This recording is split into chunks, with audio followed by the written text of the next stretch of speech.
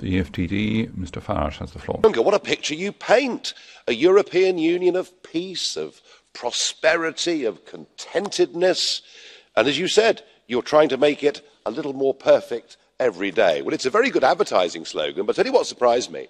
Since your last State of the Union speech, there's been a seismic political event in Europe, perhaps one even on a par with Brexit. Italy a founding member of the union the third biggest economy in the eurozone now has a coalition government between the five stars and malega that is polling over 60% of the vote and is posing a direct challenge both in terms of the management of the eurozone and indeed how the migration crisis is handled. you made no acknowledgement of that at all no acknowledgement of the populist revolt that is sweeping through virtually every single member state. instead you are to carry on regardless and i noted your continued use of the phrase sovereign europe'. what you're talking about is a deeper centralisation of power a centralisation of power in terms of europe's foreign policy a centralisation of power as you first laid out last year in terms of building a european army more power at the centre for taxation all of this of course meaning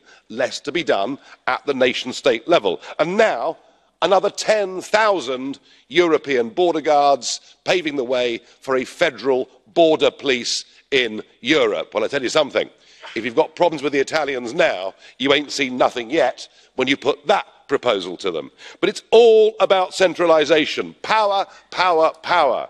but here's the funny thing you appealed to our sense of European patriotism. So, why is it that patriotism at the nation state level is considered to be insular, bad, nasty, xenophobic, probably racist into the bargain? And yet, and yet, patriotism at a European level is a good and a virtuous thing. And I'm afraid this idea of European patriotism, this idea of putting that flag above their own nation state flag is for the birds.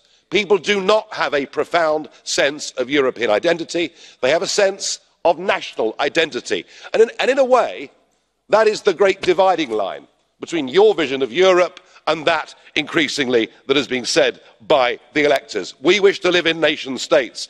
now on brexit mr juncker on the irish border already there are huge differences between the north and the south differences of politics of tax of currency and of law and we manage. and if we can get to a free trade deal well of course there'll be no difficulties whatsoever. and i thought you had some very positive things to say. you said our vote to leave was a vote to leave the single market and its associated parts. i agree with you. quite why mrs may at chequers wants to opt back into much of it i don't know. but you said twice that we need to come to a free trade deal it's what european exporters want and it is absolutely and it's what we want. surely now the time is right the ground is prepared for a canada plus style trade deal between you and between us. we leave political union but we carry on doing business on a tariff free basis. we want it increasingly i think that you want it. let's get brexit sorted and mr verhofstadt you'll be happy you'll see the back of us.